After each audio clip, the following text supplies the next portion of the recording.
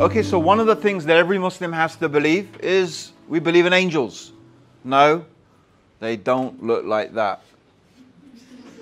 And those aren't angels, they're cherubs anyway, according to uh, whatever.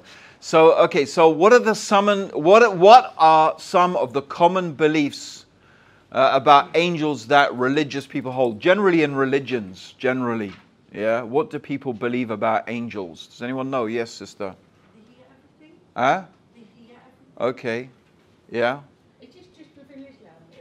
Any religion, it says. Any anyone who believes in angels, what do they believe in?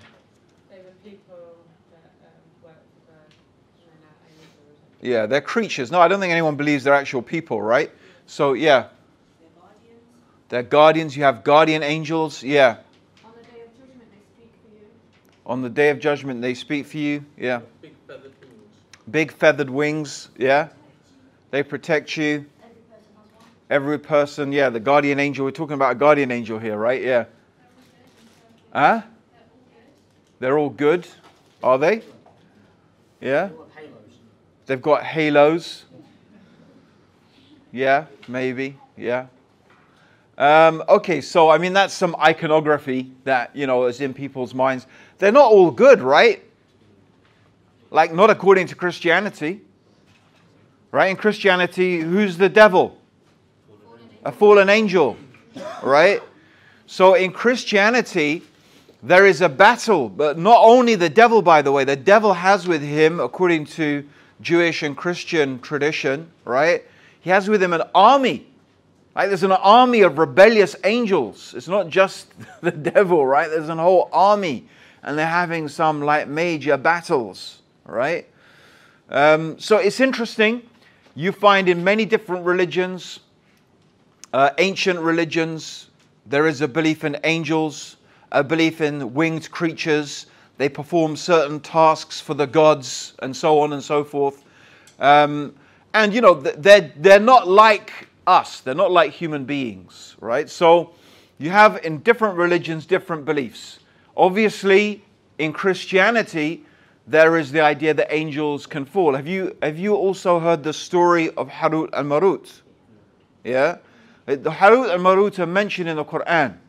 But there's a story about them which is reported from the Israeliyat. And the point being is that this contradicts what we believe in Islam. But again, it's the, uh, it's the idea of the fallen angels. These two angels are complaining about the immorality of people on earth, so God sends them down as human beings and then they realize how difficult it is not to fall in love. Yeah. And there's like movies made about this, right? Okay. And, uh, you know, they fall in love, and like it, it's supposed to be God teaching the angels how difficult it is to be a human being, right? So this is an old story uh, of Harut and Marut. But we don't believe this as Muslims, right? And why? Because what we believe about Muslims, uh, what we believe about angels as Muslims, is very specific. So we have some real details. For most other people, it's just guesswork. There's some idea that these beings exist, but exactly what they are, what they do.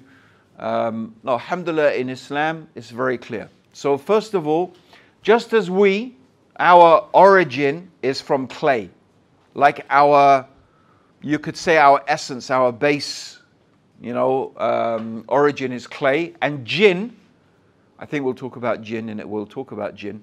Jinn are made from smokeless fire. Angels are created from light. Okay. Light, light. Not light bulbs light, but from light. Yeah. Nur. Yeah. Which means light. Yeah. Um, they exist and they're real. They're not figments of our imagination. Uh, the pagan Arabs, for example, believed that the angels were the daughters of Allah. Actually, believed that they were God's daughters. So they believed that the angels were female, right? Um, but they're not the daughters of Allah. Okay? Um, the, the angels have been created to worship Allah and carry out His commands. Okay? And Allah mentions this in the Quran. The angels glorify His praises night and day, and they never slacken. So, angels, for angels, glorifying Allah, glorifying God, is like breathing for us. like it's something they have to do and they can't stop doing it. They constantly are glorifying and praising God. And they are incapable of disobeying Allah. Angels are incapable of disobeying Allah. So, Shaitan, Satan, the devil is not a fallen angel because angels cannot disobey God because their existence is to obey God, worship God, and carry out God's commands. They're incapable of disobeying God, right? And Allah says in the Quran, the meaning of which is they do not disobey Allah in what He commands them, but they do what they are commanded. Okay, they have wings. Uh, and um, Allah mentions in the Quran, He made the angels messengers with wings, two, three, or four pairs. Some angels, like the angel Jibril, who is the greatest angel, has 600 wings. They're not necessarily feathered wings, though, right? We shouldn't, that's not, again, that's just like how people picture it. And angels can appear in human form. There are many, many, uh, uh, it's in the Quran when the angels come to talk to uh, Ibrahim, Abraham, and they come to visit Prophet Lut um, as a precursor for the destruction of Sodom and Gomorrah. Uh, they, they appear as humans. Um, Jibril, as we know from the hadith of Jibril, this whole hadith is based upon uh, that. And you know, the angels appear not only to prophets, they can appear to people. Even the Prophet said, when someone comes seeking charity from you, you know, don't refuse to give someone charity because you don't know that Allah sent you a messenger. There's a whole action, meaning it could be an angel that Allah has sent just to test you, right? Yep.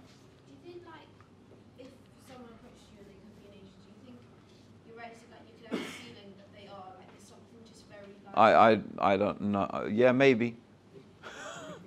I don't. It wouldn't necessarily be obvious.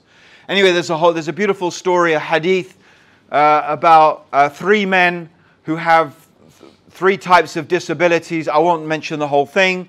And um, an angel is sent to them to ask them, What do you want? And they each ask for different types of wealth. And they're given this type of wealth. And then the angel comes back uh, dressed as a poor person in a time of you know famine and these people are wealthy and he's asking them you know give me something of what allah has blessed you. And they say i can't give to every person who's asked i'll have nothing left right? And they say well they say well didn't allah weren't you like this and allah gave you that right? May allah take it away. And they just except one guy who was blind and he says take whatever you like you know right? Um, so yeah th- so people so th- these things can happen right? To ordinary people. The Prophet ﷺ, there's a famous narration uh, of um, Hanzala, uh, uh, one of the companions called Hanzala. He was really upset one day and he was going around saying, Hanzala has become a hypocrite, Hanzala has become a hypocrite. And, you know, and, and then Abu Bakr heard Hanzala saying this. He said, What are you talking about, Hanzala? He said, Look, you know, when I'm with the Prophet, wasallam, when we're listening to him giving his sermon on Friday, you know, we, we, we feel like the paradise is there, the hellfire is there, it's the day of judgment. We remember Allah so strongly. Then we go back to our families and we forget everything. We forget all of these things. And I, I, I, I'm a hypocrite. How can I be like that? And so Abu Bakr said, Wallahi, the same thing happens to me. He said, Let's go and ask the Prophet. So they went and asked the Prophet, and he said, Oh, Hanzala, there's a time for this and a time for that, and a time for this and a time for that. He said, Wallahi, if you are able to be in the state when you are listening to me, when you're at home, and the rest of the time, the angels will come down and shake your hands on the street. Yeah? So, um, angels, these are the angels the other thing is the angels have intellect. They have the capability to think about things. And we can understand that from the story. Yeah?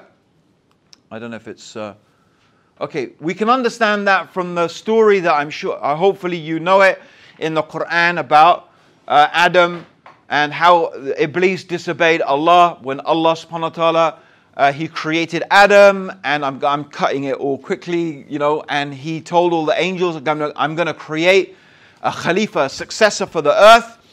And they said, and then the angel said, Are you going to create something that is going to make blood, uh, you know, that's going to shed blood and make mischief? So They have the ability to question, they have the ability to process information, they have the ability to think, right? They didn't, they're, not, uh, they're not saying this in a rebellious way.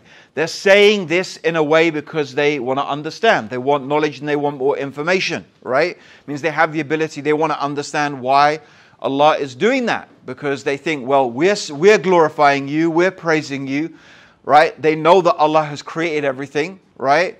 So that everything should praise Him and glorify Him. So why would you create something that is going to, you know, shed blood and make mischief on the earth? And Allah says, I know what you don't know. So they, they accept it. You know, what Allah says, they accept it.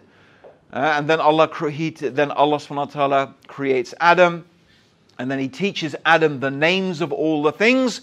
And then he says to the angels, Tell me their names. Meaning he's asking the angel, angels to mention the names of the human beings, and they don't know. Right? And then he says to Adam, Tell them, tell me, tell them names. So he names all the angels, because Allah has taught Adam the names of all things. So and Allah says, Didn't I tell you that I know what you don't know? And the angel said, the angels just praise and glorify Allah and say, Allah, you you know everything and you're the wise. And, you know, they, they, they, like I said, they weren't questioning Allah out of disobedience. They're questioning out of curiosity, wanting to know. It shows and indicates they have like, what you could call some type of intellect, right? Then Allah says, Bow down before Adam. He tells all the angels to bow down before Adam, right? Some people, I'm going to preempt it, say, well, isn't bowing down something you only do for Allah? Yes, absolutely. It is something that you only do for Allah. You should not bow down to any created thing. To bow down or to prostrate before a created thing is shirk. Because it's an act of worship that should only be done for Allah. Right? So, how about the angels bowing down? Can anyone answer that? Is that shirk? The, the God, Allah told the angels to bow down to Adam. Yeah? Why is it not shirk? Yeah? Because Allah commanded it. exactly, it's that simple. Like, it's only shirk because Allah commanded it or Allah forbade it. Yeah? That's it. Like, it's because of Allah's command, not necessarily because of some from His wisdom. So yeah, they so they all bow down except Iblis. And Allah mentions in the Quran, and Iblis was one of the jinn. So what are the jinn? The jinn are another creature. They're the only other creature that we know about that, that we know about that has free will. Angels do not have free will.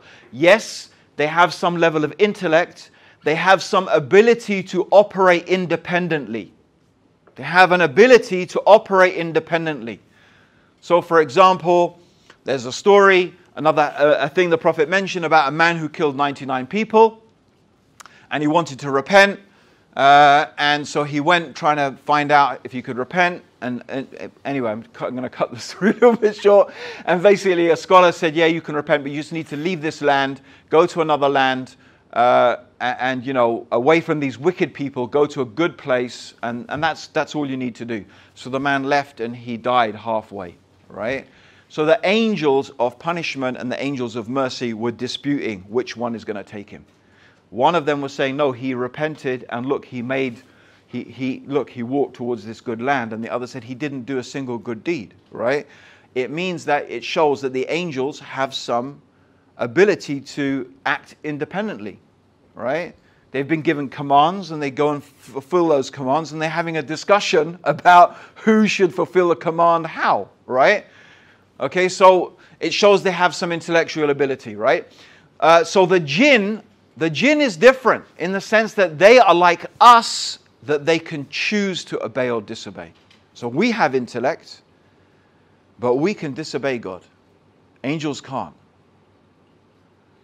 Right? We can know what God is telling us to do and still do something different. Angels can't do that. And the jinn are like that. Jinn are similar in the sense, and they're similar in many ways. They have children, they have communities, they have different religions, but they are not physical in the sense that we are physical. They're what normally you call spirits. Yeah? Okay? And anyway, there's a whole lot of stuff around jinn, and a lot of it we just don't know. Like it's not, a lot of the stuff that people talk about jinn and the history of jinn, it's not something we know definitively from the Quran or from what the Prophet ﷺ taught us. All we know is that this one jinn, yeah, this one jinn, Iblis, was amongst the angels in the heaven. How he got there, there's many stories, there's some stories. We can't say definitively are they true or not. All we know is this one jinn, Iblis is with the angels, and uh, he disobeys Allah. When Allah says prostrate, all the angels prostrate, but Iblis refuses. And then Allah says, Why do you not prostrate when you know uh, all everyone is prostrating? And he said, Well, I'm better than him. Yeah? You made me from my fire and you made him from earth. I'm better than him. And I'm not going to prostrate to something that you made from earth. Right? So Allah, then Allah expels, you know, shaitan from his presence. He said, There's no place for the arrogant here in my presence. He, and then Iblis says, Give me respite. Let, leave me until the last day, and I will misguide mankind from your straight path. Yeah, except those, your chosen servants, your believing servants. I will misguide all of them and take them with me to hell. And Allah says, okay, you have respite. You've been given respite. Okay, so that very briefly, you know, is the story of the fall, I suppose. Well, there's not the fall. Then Allah puts Adam and Hawa in paradise in Jannah. He says, eat and drink from wherever you like, except don't go near this tree. It's not mentioned what tree it is. It says, don't go near this tree. Shaitan, Iblis comes, he whispers to Hawa, he whispers to Adam, he makes them promises, you know, uh, and they listen to him and they eat from the tree and their nakedness appears to them and then Allah expels them from paradise and puts human beings and shaitan on earth. And that's where we are. Our testing for, you know, the descendants of Adam is the place of test. If we obey Allah and we follow the messengers, then we, inshallah, we will go back to paradise. If we don't, we'll go to hell with Iblis. So that's it. That's the real history, guys. Not that you evolved from a monkey. The real history is what I just outlined for you there, okay? That's our true history. That's the origins of human beings, yeah? Okay, so what are some of the benefits of believing in angels, right? Well, one of the things that it increases our awareness of the complexity, the subtlety of the creation of Allah, how there are so many things even beyond what we can normally observe. And it makes us understand the absolute strength and power of Allah subhanahu wa ta'ala. Right? The, another thing that we can think about is that we never feel alone. If you're a believer, you always know that subhanAllah, the angels are with you. And you mentioned that uh, for him, each person, there are angels in succession before and behind him. They guard him by the command of Allah. So it is something that we believe that we have guardian angels, right? We have angels that guard us, right? Angels that are there to help us, angels that are advising us to do good. Just as I mentioned before, everyone has a qareen or a jinn that is encouraging them to do evil, right? Number three, it helps us to remember Allah subhanahu wa ta'ala. Amongst the angels, there are angels, one on our right, one on our left. The angel on the right writes all the good deeds, the angel on the left writes all the evil deeds. So, all of these things, when you understand and you think about the reality of these beings as well, that constantly remember, I mean, just that thing, this realization that there are these countless beings that constantly worship and remember Allah subhanahu wa ta'ala. It's a further reminder Allah doesn't need you to be Muslim. You're not doing Allah a favor by praying five times a day. Like, what a joke. you think you're going to go to, you know, to Mecca and make Hajj and you've done something amazing. There are angels, right? That are constantly there are so many angels that Allah, above the Kaaba, there is another Kaaba in the heavens, and the angels, they, uh, they make tawaf around it and they never return. And it's constant. There are so many angels, they make tawaf and they never return. That actually, this is subhanAllah, the, the universe is full of countless beings that are remembering Allah constantly. Right? I mean, so we pray, we make Hajj, we worship, because it's good for us, not because Allah needs it. Yeah? Another beautiful thing is the angels, they pray for the believers, they make dua for the believers, they seek forgiveness for the believers. Yeah? Um, they support the believers in different ways that Allah subhanahu wa ta'ala was mentioned. For example, in battles, sometimes angels come and they help the believers, and this is in, in, mentioned in the Quran. And there's many stories, by the way. I could tell you many stories uh, from modern times where people have experienced extraordinary things. Yeah which inshallah almost definitely are the angels, right? So I told you the story of Iblis, right? Um, I told you the story of the, the fall of Shaitan. So what we mentioned is that Shaitan, what is his objective? His existence is dedicated to do one thing. And what is that one thing that he wants to do? Yeah? Take us to hell. He wants to take us with him to hell. That is his objective and he doesn't give up. He's, you know, that's, he is just determined to do it, right? So, one of the important things is you must have heard the adage, know your enemy, yeah? So, it's good to know your enemy because this shaitan, Iblis, is your enemy. He is your sworn enemy. Allah tells us, shaitan is your enemy. Do not take him as your friend. Don't take him as your friend. Don't invite him in for dinner in your head, yeah? Lay out a feast for him and have a long chat, listening to everything, all the lies that he has to tell you, like a lot of people do, right? He's your enemy. He is a liar. He is a deceiver.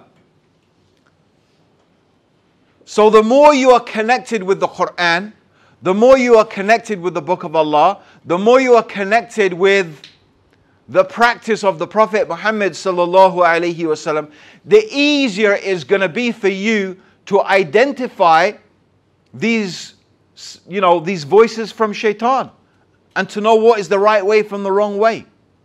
Because one of the things I, I reckon possibly as a new Muslim people may struggle with, like, are these like voices in your head, right? I certainly I know when I was when I first became Muslim, subhanallah, some of the stuff that I struggled with. It was just crazy, really crazy. And actually, one of the things is shaitan, when you, when you first become Muslim, shaitan attacks you really hard because he knows you're vulnerable. He knows your knowledge is less. He knows in some ways you're weak in your knowledge. So he's going to work really hard to put doubts in your mind. He knows that you probably haven't learned to discipline your soul, to discipline yourself that well yet. Right? So he's going to stir up your desires, your passions. Yeah, remind you of all those good old things that you used to do back in the days before you became Muslim that you can't do anymore. Right? It's going to remind you of all of that stuff. And he knows that maybe you don't have the you haven't developed the skill set really to avoid it. So, number one thing that shaitan wants to do, the top thing that he wants to do, is to get you to commit shirk.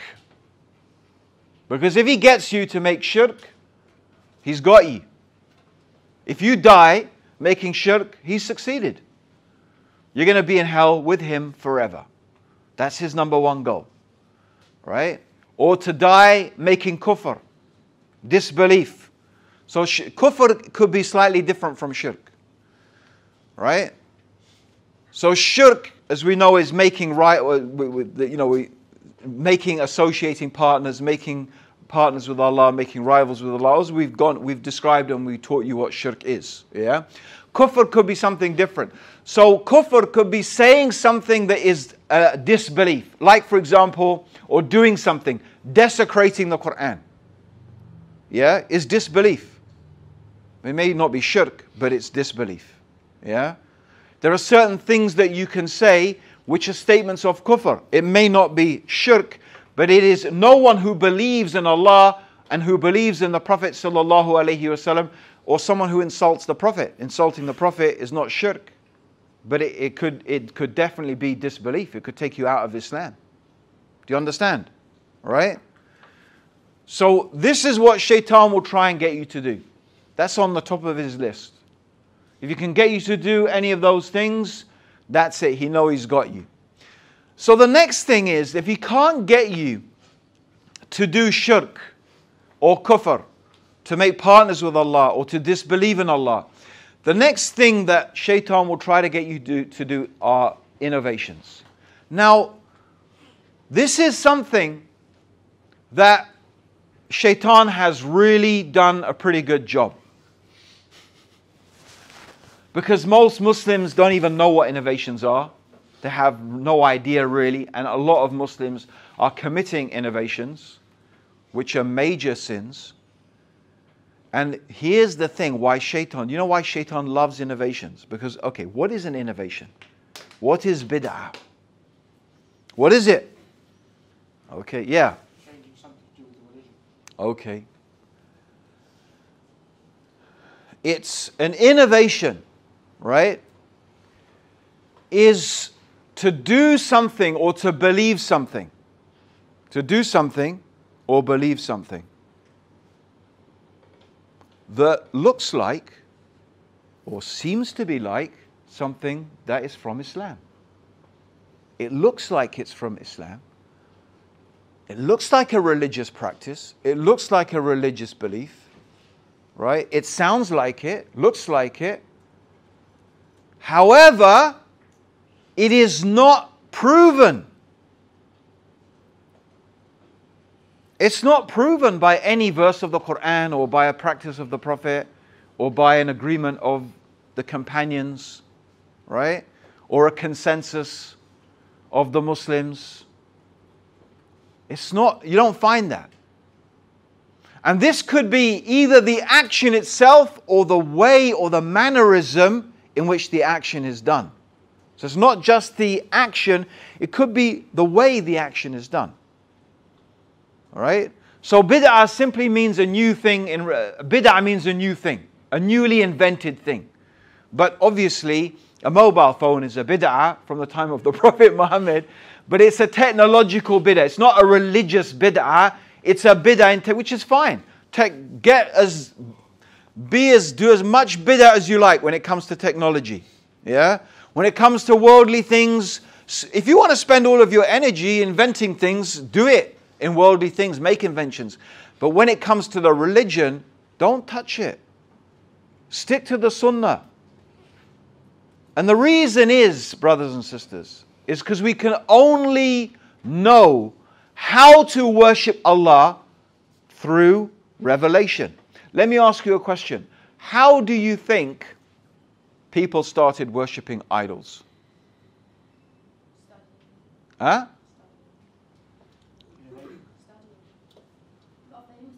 Huh? People got famous. Yeah? They lost the way of the revelation and changed things. Okay. That's very general, but probably. Huh? Innovation. Innovation. So, like, yeah? Yeah, go on. Okay. So, how is that an innovation? What's, where's the innovation? Because, the, because no, one told us no one told us to make statues and pictures of prophets. No one told, God never told us to make statues and pictures of pious people, right? But that's what they did. And why did they do it? How might they imitate the religion? Right? How, how would you make that religious? Because remember, a, a bid'ah is something that seems to be like it's from the religion. You have to, that's the element. So where's the religious element? Why would, why would you build a statue of your pious people? Yeah? To remember them.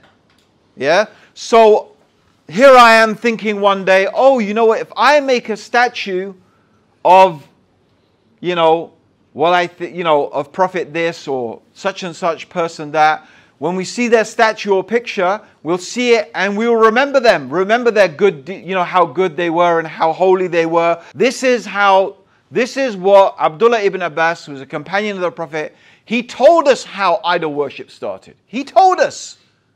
He said, Amongst the people of Noah, the people of Nuh, were upon the religion of Adam for 10 generations. So there was a time when everybody on earth was Muslim. Right? Yes, there were sins being committed. Yes, there was Cain and Abel, right? And uh, who killed? I think Cain killed Abel, right? Okay. So there were sins, there was disobedience, there were things happening, but no one was making shirk. No one was worshipping idols. Like this is for we don't know how long. But the people of Nuh were on this for 10 generations. They were only worshipping Allah. And they had amongst them four pious people.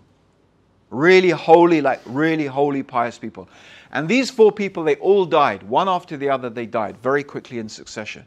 So you can imagine that these people, they were very attached to them, they loved them, right? These pious people died, right? And they were left without their scholars, without their pious people, right? And they were very distraught. This is when shaitan, can you, this is how long shaitan's been really planning now. Now he realizes, here's my chance. Right? So he comes to these people and he says, why don't, like he's suggesting to them in their mind, why don't you make statues? And why don't you make images of these pious people and then put them in your places of gathering? So that when you see them, you will remember Allah more. Do you hear that?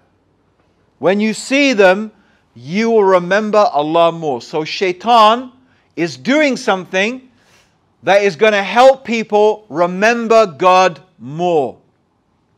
Remember that when someone says, Oh, how can you say such and such is an innovation?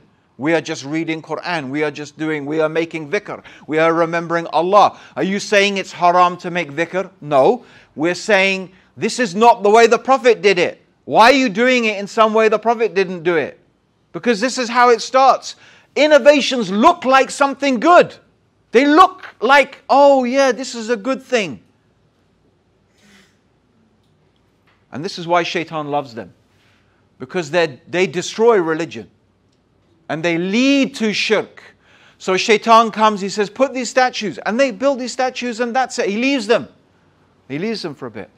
Another generation, two generations, some generations passed. And what happens? What do you think happens to people when their scholars and their pious people die and they're not, yeah? They okay, but they also they start to commit sins, right? There's no one reminding them. There's no one enjoining the right, forbidding the wrong. There's no one keeping them on the straight and narrow.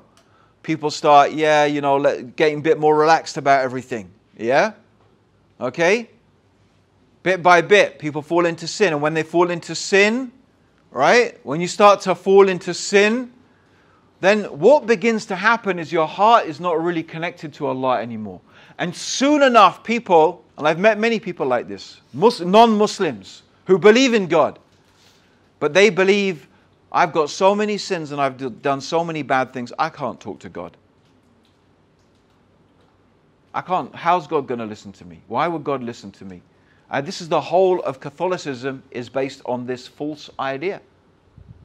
Who do you think you are? You think you're going to go and ask God? I would say to the monks, the priests, why do I have to come you, to you and ask God to forgive my sin? Well, you can ask God if you want, but why would God listen to you? You need to come to the holy people. You need to come to the monk. You, need to come to the one who's been purified. Like this whole thing is that, no, no, you can't have, you, you're so bad, right? God is not going to look at you. This is really, this itself is kufr.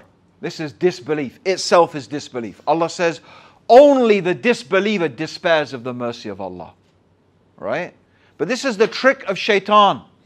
When people are so prone to committing sins, they feel that they can't. And so this is what happened. This is what happened. They became like that. And then shaitan said to them, You see these statues that your ancestors built of your pious people? The reason they did that is so that you could use them as intercessors and intermediaries between you and God. So you call upon these pious people, right? And they will take your prayers. They will be the, you know, they will be the intercessor between you and God. And uh, you know, like people use this argument. You say, look, if you want to see the king, can you go straight up to the king and talk to him? Can you do that? No, you have to go to, you know, you have to write a letter, you have to go through all the secretary. It sounds logical, doesn't it? Right? So the same thing they say with God. You, sister, just just think, listen. Yeah, I'll come back to you. Right? They say it's the same thing. You know, you think you can't go straight to God. God's more holy than a king. You need to go through his special chosen people. Sounds very logical, isn't it? Does it does sound quite logical? Yes or no? Yeah. yeah. You see? Even idol worshippers have some logic. However, it's logical maybe, but it's just it's based upon a completely it's actually based on disbelieving in God. Because this shows that people these people don't know who they're talking about. They don't know who's God. Now, why does a king have a secretary? Why does a king have uh, you know people that like yeah He's because he's a human being. He has limited time. He wants to eat feasts. He wants to go hunting. Yeah. He wants to go dancing with Kate, you know, and have an argument with Harry. Yeah. Okay. And pick a fight with Meghan. You know, got all that important stuff to do. Yeah. Okay. Yeah, you know, as a, as a, you got all that important stuff to do. You can't spend all of your time talking to the commoners, right? and, uh, and all their. How can you imagine if every one of us had a problem? Yeah. Oh, my sandal broke. Oh, um, Queenie, my sandal broke. Can you help me, please? Seriously, you, has she got time for that? No. Right? You wouldn't even think of asking the Queen if your sandal broke, would you? Would you? Anyone? But you know what? The Prophet said, if your strap of your sandal breaks, ask Allah. Even the strap of your sandal. Never be shy to ask Allah. Even the strap of you. That's the difference. Because Allah can hear every single one of us calling upon Him if every human being, the human of us, the jinn of us, the male of us, the female of us, the last of us, and the first of us, gathered together in one place and we all asked Allah, Allah could give us, all of us, everything we asked for and it wouldn't reduce his kingdom and his authority in the slightest. And if every one of us gathered together, the, the first of us, the last of us, the male, the female, right? The men, the jinn, we gathered together and we all rebelled against Allah. All of us rebelled against God. It wouldn't reduce his kingdom in the slightest. So, do you see why people who say we need intercessors between us and Allah, they're actually making shirk? Because what are they attributing to God is the limitations of the creation. They're suggesting that Allah is limited, like a king Astaghfirullah. Is Allah like a human king? A pathetic human king? Right? Who's only got 24 hours in a day and can only listen to a few people talking to him in a day? Is Allah like that? Astaghfirullah. He's not. Right? So, brothers and sisters, you see how shaitan, he wants us to make these innovations. These innovations, they look like religion, they sound like religion, they may seem like really good things. And the problem is, once you think you're doing something like that, you think it's going to bring you closer to Allah. Do you think you're going to stop it? You don't think you're going to stop it. You think, no, I, you know, this is a good thing. This is why shaitan loves it. But the Prophet ﷺ said, the worst thing in the religion are the newly invented matters. The Prophet wasallam, he would say this again and again and again. He would mention it so many times. He would warn against innovation so much. What is enough for us is the sunnah. We, like, that's it. Most people can't even fulfill the sunnahs, let alone thinking of new ways to worship Allah that have not been done by the Prophet and his companions a little bit of sunnah is better than a lot of bid'ah. But an, an, innovation, brothers and sisters, it's a sin. It's a sin. It's a crime. I, I mean, this is a whole subject. I don't want to give any more time to it. But this is Shaitan's trick. Get you to do innovations. If he can't get you to do that, he'll make you do major sins. Right? Because major sins are destructive. Fornication, stealing, lying, backbiting, slandering, yeah? uh, breaking your oaths. Um, anyway, there's so many major sins, right? Uh, anything which Allah has threatened us, right, with the hellfire or the curse of Allah, if Allah has said the curse of Allah is on a person who does this or that, or Allah has threatened the punishment of hellfire, this is what scholars consider to be major sins. Some people say There are seven major sins, some say there's 70 major sins, right? Because there's some hadith where the Prophet said the major sins are this, and he mentioned maybe four or five or six, seven things. But there's other hadith where the Prophet mentioned the major sins are this, and he mentioned some other things, right? So generally, major sins are considered to be anything that has a threat for that sin of hellfire or the curse of Allah. Again, major sins lead to innovations and shirk. Because when a person is immersed in these major sins, they can very easily begin to despair of the mercy of Allah. And you know, this is this is the pathway. This is what it does. If you if shaitan can't get you to do major sins, he will still try and to get you to do minor sins. And what are minor sins? Minor sins are things that lead to major sins. Right? So I don't know what AT was saying to you, for example, before, right? But one of the things we have in Islam, right, is that um, we avoid uh, contact between the opposite sex, right? The Prophet ﷺ said, it's better for you, right, to get a hot, red hot poker and put it in your head than it is to touch someone who is not your, it's not permissible for you to touch, right? So if they're your mahram, like your, like for the brothers, it would be your mum or your aunt, yeah, or your sisters or your daughters, yeah, or your mother in law, right? You can hug them and kiss them and whatever, no problem, right? Okay? But someone who's not mahram, like your, even your cousin, right? Okay, your sister in law, um, yeah, your sister in law, or anyone who you're not married to is not from your immediate family, you're not supposed to touch them. Is it a major sin? No, it's not a major sin right? It is not a major sin. There's no threat of hellfire or the curse of Allah, right? And it is something that if you do it, it is wiped out by your good deeds, right? Please don't think, though, however, that you just make it into nothing, right? Because why? Because these things are gateways. The reason why the Prophet has prohibited them is because it's a door to something that's really dangerous. And shaitan doesn't give up. And this is one of the things about Islam is that Islam tries to close the doors, right? It doesn't, it doesn't just say, don't fornicate. It says, don't create a situation where that's going to be easy for you to do that. Right? So be careful how you dress, be careful how you talk, be careful how you interact. Yeah? Because there are doorways that lead to it. And it's not, I, you, you guys, come on, we know, right? We live in this society. Most of us come from Jahiliyyah, yeah? The bad old days. It didn't take much, doesn't take much, does it? So close the doors, guys. This is what Islam is saying. Take precautions, right? Don't even come close to it. When it comes to alcohol, it doesn't say just don't drink it. It says don't drink it, don't even, you know, carry it, don't sell it, don't buy it, don't transport it, don't even buy the grapes that people use to make it. Like there's a load of stuff surrounded by alcohol. It's not just don't drink alcohol.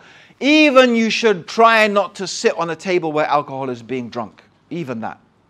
Right? That's how you should keep away from it. So shaitan, these are some example of minor sins, right? You know, sitting where alcohol is being drunk is a minor sin. Why? It's a sin because it leads, it could it can lead to those bad things, right? Look, there may be times we can have a discussion. There may be times and circumstances, and like this is a big discussion, especially as reverts, we probably have to have it, right? Um, and I've asked scholars about this, right? We can maybe talk about it if you want in question and answers, right?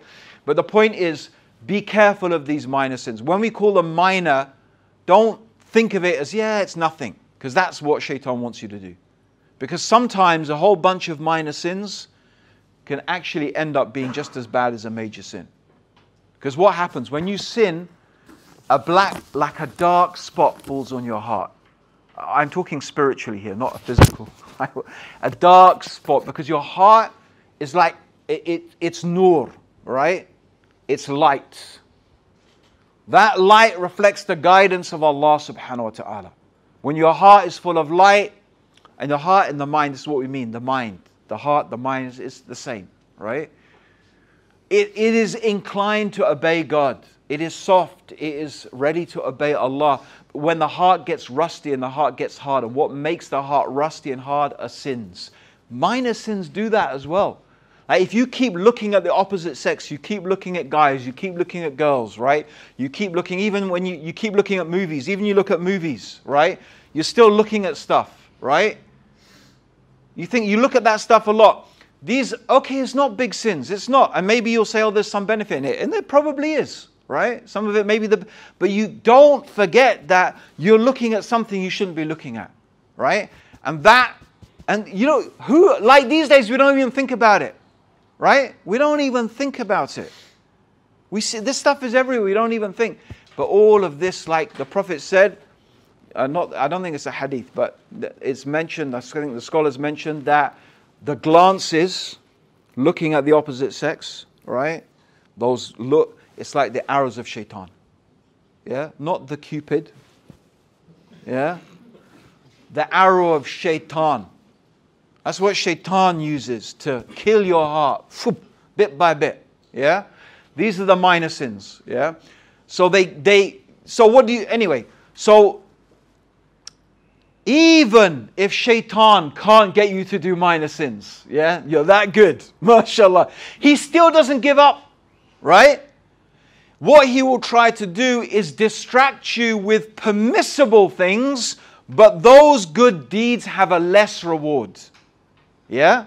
So let's say, for example, oh, I'm going to go to the retreat, yeah? And I'm going to learn the foundations of my deen, alhamdulillah, right? here I am, and you know, we're sitting here and we're learning. Shaitan is going to come and he's going to, what he's going to distract you. He knows you want to do something good, but he'll try to find you something else to do. It's still good, but it won't be as good as important as the deed that you, you know. Oh, maybe like pray tahajjud all night, yeah? Pray tahajjud all night. Pray all night long in the depth of the night, in the last third of the night. He will encourage you to do it. Why? So you miss Fajr. He'll get you to do extra things, but make you miss your obligations. What do you think is better? To pray all night or to pray Fajr? Yeah, Fajr is better. It's better you sleep all night and you pray Fajr than you pray all night and you miss your Fajr. Because the Fajr is an obligation. Do you see? But Shaitan will fool you even with this stuff.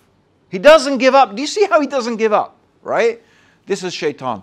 Okay, we'll have a little bit more about shaitan after the break. Sorry I went over time a bit.